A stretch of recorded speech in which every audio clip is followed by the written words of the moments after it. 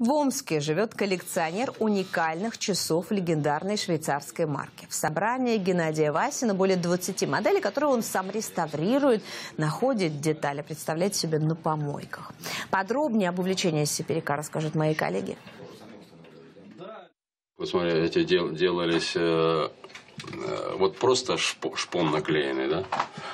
А на этих он ему не, не интересно было делать одно, одно и то же. Он, Он шпон, нарисовал. это не шпон здесь, а здесь металл. Э, Металл притом латунь и посеребренный металл такой тонкий.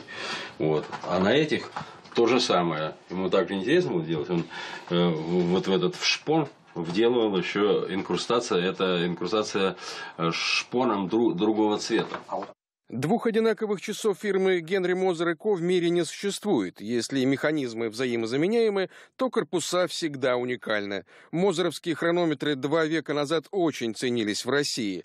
Первый магазин в Санкт-Петербурге был открыт в 1828 году. Затем появились филиалы в Москве, Киеве и представительства на Нижегородской ярмарке, через которую часы попадали в Азию. Специально для своего бизнеса в России Мозер организовал целую фабрику в Швейцарии. Именно часы Мозера использовал ювелир Фаберже для своих творений. Недаром швейцарская фирма была официальным поставщиком российского императорского двора. Омский умелец так любит именно эту марку за ее уникальность, и задача стоит вернуть часам вид и характеристики, которые закладывал легендарный мастер Генри Мозер. Вот надо делать так, как оно было э, по, э, в, на- в натуре и, и когда они были. Там я вот, например, не заменяю никогда дет- э, детали или даже вот шурупы вкручиваю, когда, да, вот, ну, где-то там вот э, отвалился в шарнире, например, там, казалось бы, его не видно, ш- э, это ж можно вкрутить обычный крестиком. Я никогда не крестиком не вкручиваю. Буду искать неделю или сколько, но найду обязательно тот, который там был под обычную отвертку. И притом и желательно, чтобы он был ржавый. Вот только одна проблема. Запчастей к этим часам найти крайне трудно. Продают их редко и дорого. Первое время часовых дел мастер пытался обходиться поиском шестеренок и деталей корпусов на развалах и блошиных рынках. Но быстро понял, наткнуться на что-то стоящее шансов мало. Ну, теперь я уже не без всякого зазрения совести.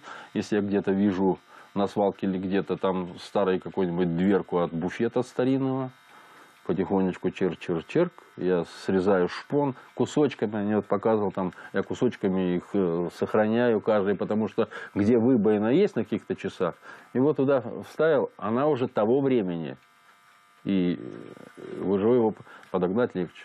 Сейчас в коллекции Геннадия Васина более 20 часов производства фирмы Генри Мозер и Ко. Есть реликвии других знаменитых часовых фирм. Но только хронометрами увлечение техника авиалокации не ограничивается. Он восстанавливает самовары, керосинки, старинные утюги, картины и иконы. При этом о стоимости своей уникальной коллекции, говорит Геннадий Васин, никогда не задумывался. Сам процесс нравится, а как только часы или другой раритет восстановлены, реставратор теряет к ним интерес и берется за новый. Сейчас в мастерской Васина ждут своего часа еще около 10 хронометров фирмы Мозера. Дмитрий Черноскутов, Василий Попов, Евгений Федотов, Лайв.